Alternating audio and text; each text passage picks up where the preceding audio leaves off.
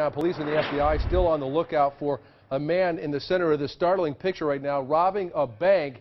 Uh, happened in Kansas City. The robbery happened this afternoon at Arvest Bank on 93rd and Blue Ridge.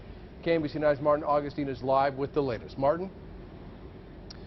Len, this is the bank right back here, Arvest Bank, as you mentioned, 93rd and Blue Ridge. Tonight we have surveillance video to show you of what would have been a frightening scene inside the bank. In these photos, you see the man barging into the bank, waving around a shotgun.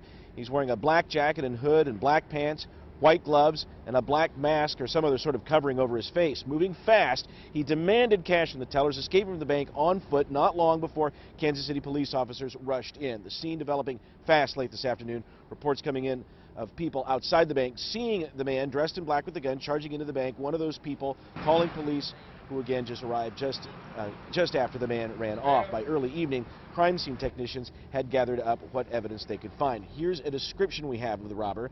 The man is 5 feet 9 to 5 feet 10 inches tall. The people in the bank think he was about 170 pounds.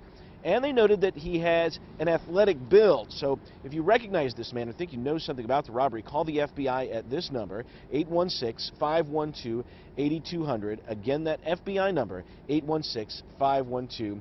8200. The FBI will not say specifically how much money is gone, and they add while there's still much more to investigate in this case, the man, while inside the bank anyway, was working alone. Reporting live, Martin Augustine, KMBC 9 News.